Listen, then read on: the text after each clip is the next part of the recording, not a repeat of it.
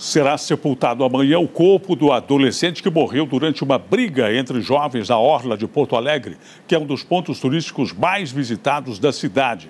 O rapaz foi espancado e foi atingido no peito por uma garrafa quebrada. Este vídeo mostra o momento em que o jovem é derrubado e espancado com socos e chutes em uma das escadarias da Orla do Guaíba, no centro de Porto Alegre. O tumulto aconteceu por volta das 11 da noite de domingo. Aderson Júnior Martins Floriano, de 17 anos, foi golpeado no peito com uma garrafa quebrada.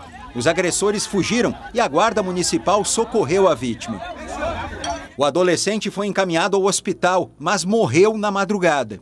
A Guarda Municipal informou que as câmeras de monitoramento da Orla estavam direcionadas para outro ângulo e não registraram a briga. A Polícia Civil já identificou pelo menos dois agressores e investiga a participação de outras pessoas na morte do jovem. É mais lamentável ainda é que um espaço que foi totalmente revitalizado, um espaço que foi entregue à comunidade para que sirva de lazer, para que sirva de comunhão de boas práticas, seja palco de um crime imbecil desses. A Polícia Militar disse que vai intensificar a ronda na região. Acho que precisaria melhorar um pouco, principalmente mais do, do fim da tarde para frente. Eu acho que deveria focar mais entre uma segurança mais, mais pesada.